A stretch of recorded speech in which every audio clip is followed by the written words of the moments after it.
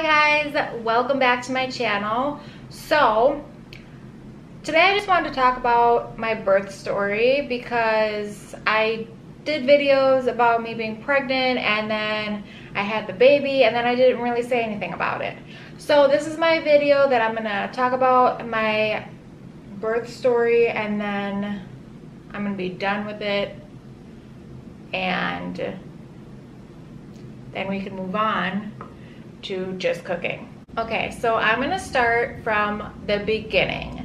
So it was June 23rd and it was a doctor's appointment where I was getting ultrasounds because I had excess fluid in my womb.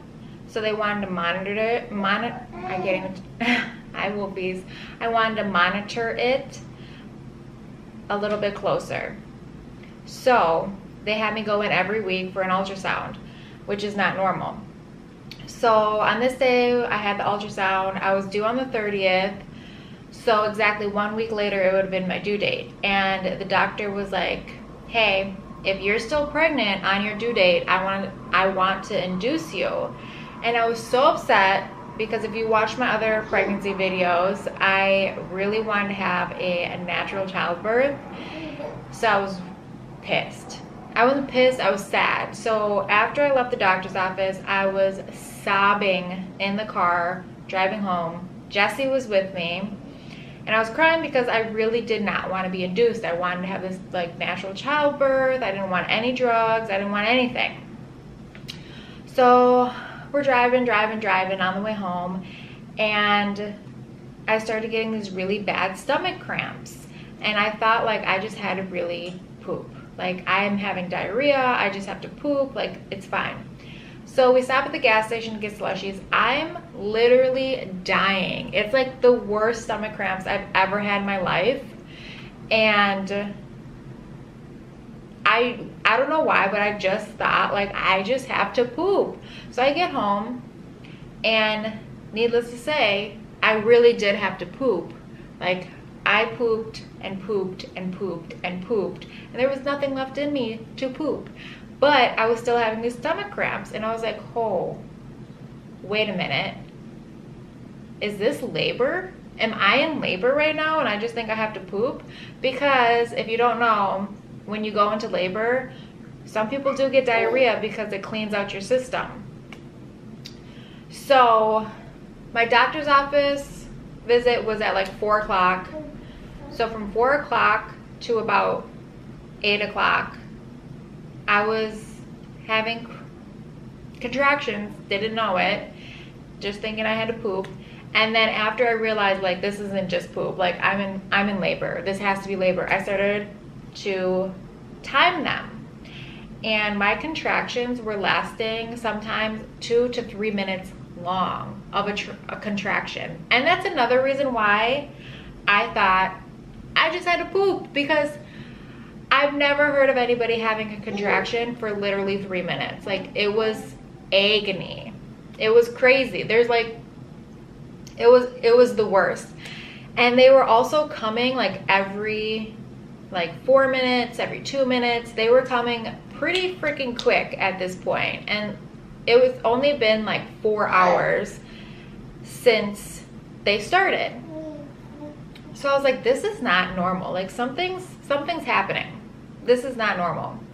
So I called the doctor's office. I'm like, I think I'm in labor. And she's like, well, time for two hours. And if they're like five minutes apart, what was it? What's the thing? I, I don't even know what the thing is. Like how they're supposed to be timed in order for you to go to the doctor. She was like, do that for two hours and then call me back and then we'll see. I called her back in 45 minutes because it was so bad I couldn't do it anymore. And I was like, I need to go to the doctor. I need to go to the hospital right now. Like right now. Like I do not want one more contraction. I can't do this. This is too much. Like this is the worst pain I have literally ever felt in my life. I'm like dying. I was in the shower because that's the only thing that made it feel a little bit better and I was I was talking on the phone to the doctor or whoever I was talking on the phone to while I was in the shower. And I was like, I need to come in right now. And she's like, okay, but they might send you home. And I was like, I don't care. They're not sending me home. There's no way. So drive in to the hospital, get there. This guy comes in the room and I'm having contractions like back to back to back to back to back. And I'm three centimeters dilated, he says. And I was like, oh shit, they're gonna send me home because you have to be four centimeters from every YouTube video I've ever seen for you to be able to stay at the hospital. So I was like, oh, I'm gonna go home. I can't go home. I cannot go home. I do not wanna go home. Like, I was panicking. That's how bad the contractions felt. And I think it would have been better if it was spaced out a little bit more, like I thought it would be, and lasting only like a minute. These were lasting like three minutes long. It was insane. So he's like, you could stay. And I was like, oh my God, yes. He's like, do you want an epidural? And I was like, yes. I was like, forget the natural childbirth, forget everything I said. This is not happening. Like I need this epidural. Stick it in me right now. Where where can I go get to get this epidural? It needs to happen immediately. Like I was panicking. Like I can't have one more contraction. I can't handle this. This is too much. I'm gonna pass the fuck. I'm gonna pass out. So the lady is trying to stick the IV in my wrist, which also I did not want an IV. But again, I'm getting an epidural. So at this point, I don't care what you're doing to me. Just give me the epidural. And she's like, well, I want to wait till your contraction is over with to stick the, the needle in you. And I was like, I don't care. Maybe it'll take my mind off of my contraction. Just stab me with the thing so we can get this show on the road here, sister. Like, come on, what are you doing? So she gets the IV in. I go to the room and the guy comes in to do the epidural and he is literally talking and talking and talking and talking and I'm just like sitting there like please please, please Jesus, like, I don't care. Just stick it in. Like, just stop talking, please. Stick it in. I was so, like, I need it right now. Like, crazy, crazy. So I sign the paperwork. He sticks it in, and the sweet relief comes. And it's literally not even like 10 minutes and I start feeling better and everything's great. I'm like, Jesse, this is great. I'm so happy. And then by the time I got to the hospital and the epidural was in, it was like 10 o'clock, I want to say. I don't know how the timeline actually went because I, well, I'll get to it. But um, the doctor comes in and she's like, let me check you. And she's like, holy crap, you're nine centimeters. I was like, yes. She's like, this is crazy that you're nine centimeters already. And I was like, okay. So then I sat there for a little while longer. I think it was like one more hour. And then she came back and she, she checked me and she's like, you're 10 centimeters. And she's like, we might have to break your water. So as she's like in there with her fingers, my water actually breaks. So that was good because she didn't have to break it. And she's like, oh, oh wait, he pooped. And I was like, what? He pooped in you. And I was like, okay. And she's like, well, I'm going to, did she give me some medicine? I can't remember if I was like still like a tiny bit left to be dilated before I could start pushing. I don't know if she gave me something. I know she like did this like thing where she like moved it with her actual hand. So I don't know, but I, I was able to push, I guess. So I started pushing and I was pushing and I was pushing and I literally couldn't feel anything. I couldn't feel a thing, which kind of sucked because I feel like if I could have felt it, I would have been able to push better, but I couldn't feel anything. So I'm just like, like pushing. I don't even know what's going on. I don't even know if anything's happening down there. I'm just trying to push with all my might. And then she comes back and she's like, okay, you're doing good. And then I'm pushing and I could finally feel some kind of pressure. Like I could feel like he's moving down more. And I was like, oh my God, he feels like he's gonna come out soon. So she's like, okay, do you wanna keep pushing? And I was like, yeah. So she's like, okay, I'll check on you in a little while. So she comes back at hour two. And I'm still not like, he's still not crowning. Nothing's happening. And she's like, okay, well, if you want to keep pushing, I'll give you another hour to push, and then we're gonna have to talk about a C-section because he pooped in you. His he was like his heart rate was I don't know if it was going up or going down, one of the two, but they kept like maneuvering me around, and they would get better. And I was like, all right. So I like pushed and pushed and pushed, and at two and a half hours, I was like, can you go get the doctor? Like, I can't, I'm exhausted. It was like five o'clock in the morning at this point. See, that's why I don't know how the timeline went because I knew it was like midnight and I was almost nine centimeters. And then all of a sudden it was five o'clock, but I only pushed for three hours. So at the three hour mark, she comes back in and she's like, so what's going on? And I was like, I want a C-section. I can't do this. I'm exhausted. I literally can't find the strength in my body to push anymore. And she's like, okay, sounds like plan. We'll get you set up.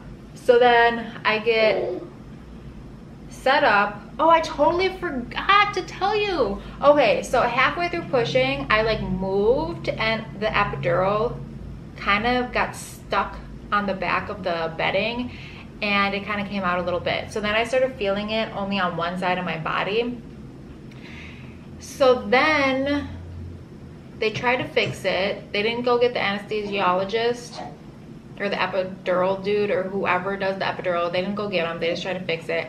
And then what happened? So then when I knew I was going to C-section, he came back in there and he was talking to me about some stuff he said so much stuff to me. I don't even know what the hell was going on. I was just like, get this over with. Like, I just want this to be over. I'm tired. I can't do this anymore. So they wheel me into the operating room and the guy's still talking to me about like drugs and like what they're gonna do to me and all this other stuff. And then he said, you won't feel any pain, you'll just feel pressure. And I was like, okay, sounds good. So they have me on this bed and I'm just like this. And they're poking me with something. They're like, do you feel this? And I was like, it feels like the tip of a pen is like poking me in the stomach. And he's like, okay, I could live with that. So then they start doing it. They cut me open, I don't feel it. But when they pull him out of me, I screamed. And I this is why like I don't know if this is normal because I've seen people have C-sections on YouTube and they don't scream. I was screaming. It hurt. It wasn't just pressure, it hurt when they pulled him out of me. So they get him out, and then after he was pulled out, I didn't feel any pain again. And I was kind of like delusional. Like I was in and out. Like I barely remember anything happening in that room. So all of a sudden, Jesse's right next to me because they didn't bring him in there right away. So Jesse's finally right next to me. He's holding the baby and I'm looking at the baby and I'm just like, okay, nothing. Like I didn't feel like, oh my God, it's my baby. Nothing. I didn't feel anything towards this child. I was just like, okay. I was half out of it, exhausted, just in another world. So what happens next? I don't remember them like the rest after that moment i don't remember anything and then i wake up in the room and i wake up to the baby like making noises and kind of crying a little bit and jesse's like off like against the wall holding the baby and then i remember i fed the baby and then this other doctor came in because the person who did the C-sections shift ended. So my doctor that I actually saw at my last appointment right before I went into labor came in. And oh, so if you don't know from my last videos that I didn't have one doctor, I had a group of doctors. So whoever was on call was going to be the doctor who delivered my baby. So I didn't have just one doctor. So that lady came in that I had just saw the night before at my doctor's appointment. And she's like, okay, so you're bleeding a lot and you're clotting and I need, she said something, something was happening inside my body. She's like, I need to see if I could fix it by basically sticking her hand up in me and like trying to like grab the stuff out. I don't know what the hell that was about. But she's like, she literally stuck her whole freaking hand inside of me. And I see her pull her hand out. I screamed. Let me just tell you, that was the worst thing that has ever happened to me. I don't know. I feel like the contractions were more painful than her sticking her whole freaking wrist deep inside of me, but it was pretty comparable. So she pulls her hand out and it's like covered in blood. I'm like, all right, I don't know if that's normal, if that's not normal, what's going on. And she's like, okay, so you're bleeding a lot and we're gonna have to do a D&C. And I was like, I don't, I don't know what the fuck a D&C is. Sure, whatever. So Jesse's off in the corner just looking like traumatized. So the anesthesiologist comes in, starts talking to me about what's gonna happen. She's yelling because I drink like a buttload of Gatorade. Like I drink so much Gatorade and she's like, who let her drink Gatorade? Who let her drink the Gatorade? She can't drink Gatorade when she's gonna buy have to have surgery and be put under. So then I barfed up all the Gatorade, thank God, because she said if I did it while I was under, that I could get would aspirate and get pneumonia. And I was like what the hell? So I barfed it all up and they wheeled me into the operating room. And as I'm being put under they have the mask on my face. As I'm being put under all I hear the lady saying is where's the blood? The anesthesiologist where's the blood and the lady standing next to her I don't know if it was a nurse or whatever she's like well the doctor didn't think we needed it and she's like are you kidding me is there even her blood type in the building? And she's like, yeah. And, and I'm just like sitting there, like slowly passing out like, oh my God, get the blood. Where's the blood? Like, why is there no blood? Why do I need blood? Is this like, is something bad happening to me and I just don't know because they just haven't told me? Which basically, yes, yes, they did not tell me anything and something bad was happening to me. So have the procedure, come out, wake up, and I'm dead. Like, I have no energy. I'm exhausted. But the whole time, like, all of this was happening, I was so nonchalant. Like, the C-section, I went from not, not wanting to have any medication to being so nonchalant about having to have medication, having to have a C-section. I was just like, whatever. I don't even care so freaking laid back about the whole situation. So I wake up and I have no energy and laying there and they take me to a different room which is going to be my room for the rest of my stay which ended up being four full days. Oh hold on. Okay. So i'm in the room and people keep coming in to check on me. And every time they come in to check on me they like push on my stomach to see if like a bunch of blood is coming out of me and they keep checking on me and checking on me like for at like all day long that's all they do and let me tell you after you have a c-section and uh, whatever a D&C is and they keep pushing on your stomach to see if you're bleeding too much it was so painful. I'm like, why do you guys keep doing this to me? Why are you torturing me? What's happening? So they ended up giving me a blood transfusion. And I was like, okay, still did not register in my brain like something horrible has happened to me. Still, blood transfusion. I'm still like, whatever, it's fine. Like this is this is normal. This must happen all the time. I, like everybody seems like nonchalant. Nobody's making it out to be like this big mm. deal. Like it's fine. So then the next day after my first blood transfusion, they come in, test, take my blood to test it or whatever. And they're like, okay, we're gonna give you another blood transfusion. And I was like, what the hell? Like, then that's when I started freaking out. Like, who has a baby and needs two blood transfusions? This doesn't seem freaking normal. And I was so weak, I couldn't hold the baby. He was, by the way, he was born almost nine pounds, two ounces away from nine pounds. So he was a heavy baby. Couldn't hold the baby. I couldn't really get him to latch because I couldn't position him right to breastfeed him. So I was really exhausted, didn't have any blood in my body, and just miserable. Like couldn't really get up. It was just a whole thing. Like I barely could get out of bed by myself to go to the bathroom. I couldn't like hold the baby, nothing. And it was horrible because like my baby's crying and I can't even get up to comfort him. I had to rely on Jesse the whole time. And I was just thinking like, what if I didn't have Jesse? You know, who's gonna take care of my baby if, when he's crying? Yes, Wolfies. He's making noise in his little swing over here. So that's when I started freaking out. I actually started, that's the first time I cried about the whole situation is then. The second time I got the blood transfusion because at this point I'm just like, this isn't normal. Like what's happening to me? I don't even know.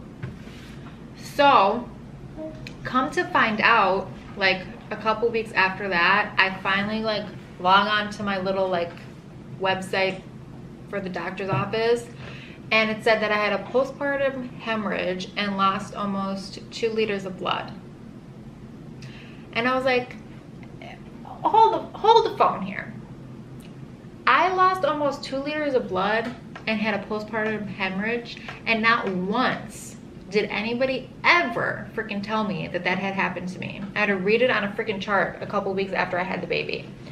So that was kind of messed up of the doctors. Like, you're not gonna tell me what's really going on with me. You're just gonna be like, oh yeah, we're gonna give you some blood and we're gonna do this procedure and all this other stuff. Why didn't you just tell me I had a postpartum part of hemorrhage? I guess that would have freaked me out more, but still, like, it's my right to know as a patient what is actually going on with my body. Crazy. Um, so yeah, that was my birth story kind of traumatic. I wasn't really that traumatized. I think Jesse's more traumatized than I am about the whole situation because at the time I just thought like this is just it has to be normal because everybody just seems so crazy like not crazy about it like it's just like an everyday occurrence that this is happening so I don't know like if I actually would have known what was happening to me while it was happening to me I probably would have freaked out. Hold on, let me get this baby. He's going crazy. Ugh. All right. This is my little Wolfie baby. Come on, Wolfie, don't, don't fetch. He can pull his head up. He's just faking it right now. He's almost three months. I know you missed me. I know. Okay. So, the worst part about the whole whole experience was me not being able to pick him up or take care of them by myself. That was the worst part of everything that had happened to me. Now, I didn't have any side effects from the epidural, which I was really scared about. I also had, um, what's that called? A catheter for my pee and I was definitely afraid of that. That's the whole reason I didn't want to have epidural in the first place is because I didn't want to have to have a catheter, but it wasn't even bad. I couldn't feel it. They stuck it in after I got the epidural, so I couldn't feel them putting it in. And then she pulled it out after my D&C, like probably like eight hours after the D&C operation. She pulled it out. I was wide awake for it. And it was just like it was like it felt like somebody ripping off a band-aid it wasn't that bad and then thank god i was able to pee after that so it actually didn't turn out that bad as i thought the whole thing actually wasn't that bad. And yes, they didn't tell me I was having a postpartum hemorrhage while I was having a postpartum hemorrhage. But other than that, their service was great. Everything was good. The doctor who did my C-section, she was like the sweetest angel. Like, you ever meet somebody who has a personality that is just so damn nice and you're like, you are the nicest person ever. Oh my God, how are you this nice? You're like a freaking angel. That's how this, this doctor was. She was like younger. She wasn't like younger than me, but she was like about my age, it seemed like. And she just was great. So the scar, I could barely even see it. So she did a really good job. I don't even know how they closed me up because I don't have like, I didn't have like stitches in me. I feel like they glued it shut because I didn't have stitches. I didn't have dissolvable stitches. I didn't have staples. I didn't have any of that. It was just like a seam in my stomach. So, I mean, I don't know if I felt so bad after having a C-section because I lost so much blood. So it'd be interesting to see how a C-section felt without losing a lot of blood because part of me feels like I just had like a bad experience with my C-section and not being able to pick up my baby or do any of that stuff because I was so weak from having no blood. So yeah. So I just wanted to tell that story because I feel like I needed to put an end to my pregnancy vlog or pregnancy videos so I just put a little button on it and tell you guys my birth story. And I wouldn't take back anything because this is my cute little baby nugget. His name is Wolf Raymond Wendell Powers and he was born at 6.23 in the morning on, shit, your birthday the 24th or the 23rd? I'm a horrible mother. I can't even remember when his birthday. It's the 23rd. You were born on the 23rd. Yes, you were. I'm sorry, I forgot your birthday. So he was born on June 23rd, 6.23 in the morning, and he was 21 inches long, 8.14 ounces. And he's just the cutest little baby. He's so sweet, and he's actually pretty freaking good. Like, I don't know how normal babies are, but he seems pretty chill to me. And he just wants to be held and loved and he doesn't really like scream. And when he does scream, I know how to make him stop screaming right away because he's just a little nugget who just wants to eat and hang out.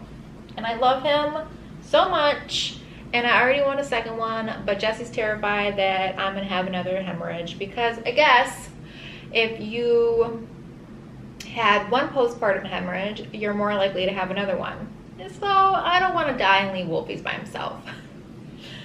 So I don't know if I'm going to have another one, but yeah, that was my birth story. Thank you guys so much for watching, and I will see you next time. Don't forget to subscribe.